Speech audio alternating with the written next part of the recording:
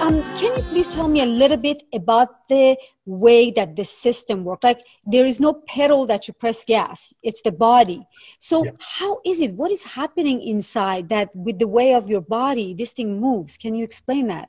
Yeah, it has has an internal mechanism that uh, works on weight distribution, and what the once you and it comes also with the support of the of the batteries. So you turn it on, and what happens is that it will stabilize. It will be stable, and it will not move when it's on, and you don't have a weight on one on the front or in the back. Right. So once you once you start moving forward and you lean your body forward, and the weight distribution of your body shows the wheel that it's going forward, the wheel starts pushing you. Hmm. So it So it's the weight thing. Yeah, you're right. Because when you have it on and there's no weight on it, it's just standing. It stands. So it doesn't have any remote control or any pedals or anything hmm. that any click that you go forward and backwards. It all depends on your body. So the good thing about this is first that it creates a really big awareness of our body distribution and weight. Yes. Then you work a lot your core of Yes. your body Yes. Without even noticing without feeling the workout. Right. Your your body's engaged. All the muscles are engaged Yes. and then you start going very slowly into okay if i go a little bit more forward it will speed up if i put my body to the back it will slow down then when you go become a real expert i cannot do it yet you can even go reverse you can go backwards if Oh, you wow. have balance i haven't been hmm. able to do that Just then yet. you uh, yes yet exactly then when you turn it's very subtle that you start moving your body a little bit to the side and the wheel starts going to that side that's left or right Right. important thing is to always have with your legs tight against the wheel Yes. Yes. No, your you shin, in your your inner chin. shin, need to be like tight. tight I'm so excited to make some sort of a tutorial because um, that way we, would- we could have the wheel and then demonstrate and Exactly. show show because right now the audience don't have the wheel in front of them. So when we talk about it, like uh, you know, what are they talking about? But I am excited to make that tutorial with you.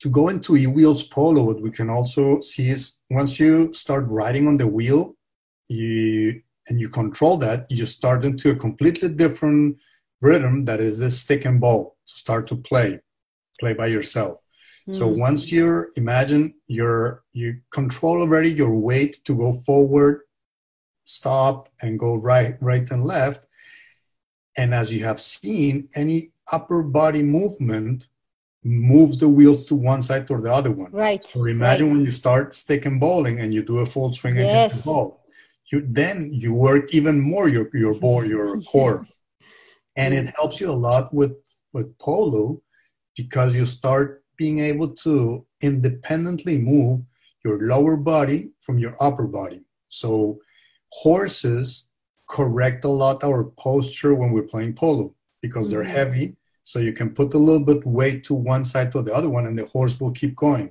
Right. the wheel will help you to improve your position of your body and able to be able to move the horse in the right direction, hit the ball without putting a lot of, of strength or muscle into it, but just with the swing of it on both sides. So it's a great development tool. Since we started this little by little, the kids start playing. Uh, most of the sons or or daughters of the professional polo players bought into this idea very Right. fast because they saw the advantages that you can play and train basically the, every single day, everywhere, anywhere you are, you can play polo and practice polo. Right, So because the sport wrong. of polo is expensive because of horses. So Exactly. if you have a horse that you just charge it up and you go and you don't have to feed it, that's awesome. Yes, So you, you you cut down on cost for practice at least.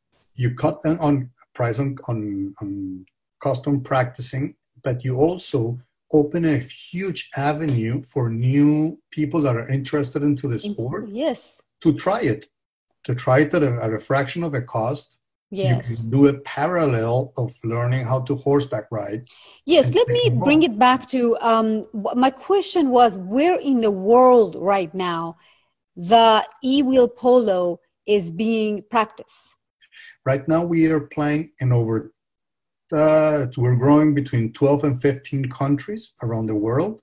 And how are the rules? Are the rules as similar as regular polo, or can you just touch upon it quickly? I don't want to go too deep Yeah, into no, the, the whole idea behind this is to have the same or as close as possible the same rules as polo. So your transition from electric polo or, or e-wheel polo to polo is as smooth and as easy as you can. So I prefer to play on a polo field, even if it's not from goal to goal, but kind of in the same position. I prefer to play. The rules are four versus four. Um, you cannot just grab the ball, tap, tap, tap, and go to the other side. You need to tap three times max and pass the ball to, to, to your teammate. Okay, so that's a new thing. You have to tap three times max. Three times And max. have you registered this? I mean, these rules are written, or how is written- it? Yeah, no, the, the rules are written. It's a work in progress uh, because it's a Awesome. new sport. So we're all the time and talking with the pros and people that are playing it. They give me suggestions for safety, for uh, more enjoyment of the game, and we're we're growing slowly on that and putting some basic rules, but they go very much hand in hand with traditional polo. And the idea of this is to open a gap for more people to get to know the sport, the polo, get a gap where people can practice and improve their game.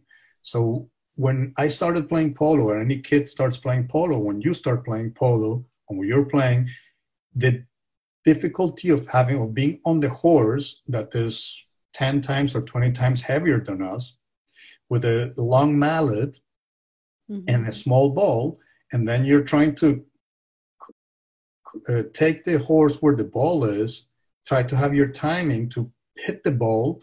Most of the times you will miss that ball, and then you have to go around with your horse, try to position him again, and hit the ball again. What Mhm. e-wheels polo helps you, it gives you a lot of early development on the hand-eye coordination with the mallet, which is a smaller mallet, same ball, and on an open field. So Mhm. you start practicing. I have a kid that bought the wheel from in Casa de Campo in Dominican Republic. And he told me after two months, he told me, Enrique, I was playing, the, guy, the kid is uh, 12 years old, 10 years old. And so I was a polo player. I consider myself a polo player, but I couldn't really hit the ball many times. So I was Mhm. hitting once, missing, and then somebody else was passing it to me. So his after game improved by practicing, practicing two months.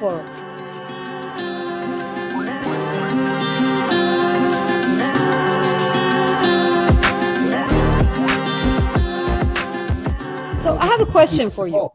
What is your, since our time is really short, I wanted to know what is your favorite memory of any of the pros, any of the possibly like, if you have any of the 10 goalers, I know Sapo Caset, he Uh-huh. borrowed one of the e-wheels that uh, I am trying right now. What is what are- what are the good memories or fun memories of one of the 10 goalers getting on e-wheel polo for the or e-wheels for the first time?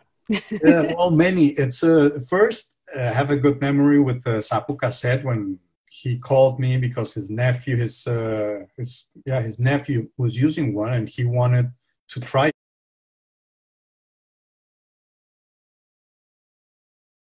one and he wanted to try it.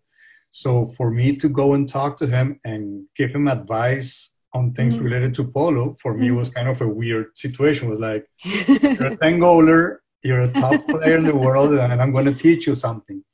That his openness on learning oh, was so amazing. One incredible. of these top guys say, I want to try it. I want to see how do I and, and start developing that. Lovely. And another great example, he then ended up playing very well. He already knows the whole thing, but to develop that was great. And him telling me that it helps in practice, that it's great. Then another professional player used to be a 10 goaler through his kids also start playing. And then he told me, Enrique, this is the closest thing to playing polo on horse that I have experienced in my whole life. Oh, wow. And this is a, a, guy that has gone through a lot of tournaments and many years at top mm-hmm. level. And his brother, which is also a top player and winner of, of uh, Palermo Open, he was telling me, I finally understand when I play with somebody that is not as good or is a starting a zero or one goal player. And I finally understand.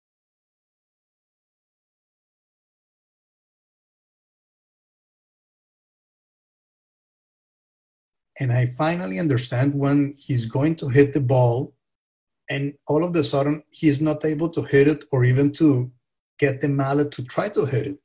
And he said, through this process of learning e wheels polo, I am understanding more this guy, why he doesn't feel comfortable letting the mallet go and trying to hit the ball because there's so many things on having the horse, on holding the horse, holding yourself on top of the horse, plus the mallet, the whole thing. Yeah, so he said, I get it now. It's a, it was a brilliant eye opening for him. And he said, from now on, I think I'm going to be a better professional player when I play with the people that hire me or lower goal players because I will be able to explain them more how or the fears that they have, the insecurities that they have, because he just lived through them trying to get on the e-wheels and learning on the e-wheel polo. And when you're learning to ride, you have the mallet, there's a ball, and you say, heck no, I'm not going to hit that ball because I think I'm going to fall. Those right. kind of things are great experiences for me. Then I have another former 10 goaler Open uh, Argentinian Open winner. Now he's one of the top coaches, polo coaches in the world, and he wants to buy four wheels for his family in Argentina. We have an issue trying to see what's the best way of sending them there, and for him to go in an interview uh, with another polo group and saying, "This thing of e wheels polo, it's amazing. It's the best thing I have seen." Awesome. Well, you know what? Another thing is that uh, polo players like to play golf and tennis because yes. it's very close hand and eye coordination to what they're doing. So knowing that he will kind of just kind of coming up in a rank and putting itself you know on top that's pretty cool. Well i am very happy to have you on the show. Unfortunately our time is short but maybe we can do another interview in the near future. And uh, thank you again for coming on the show and sharing with us your knowledge of e-wheel polo. I encourage my audience if you want to have fun this is a perfect time. And Enrique is a perfect guy that will educate you about e-wheels. It's so much fun. You may get few bruises. I have them, but it's worth it. I definitely encourage everyone to try. Thank you so much, Enrique, for coming on the show. Thank you, Miss Saye. If I may, before ending, I want to thank and appreciate a lot the work that Aspen Valley Polo is doing with the Wheels Polo. They're doing Absolutely. a great exhibition games for kids. The Melissa Ganzi and the Ganzi family have been pushing this project forward, which is great. And you see the enthusiasm of the kids playing their games there, which is a, a big uh, success for Aspen Polo Valley. So Aspen Valley Polo Club. That is a great note to end on. I want to thank Aspen Valley Polo as well and Melissa Ganzi and Ganzi family. They have done so much for the sport of polo and e-wheel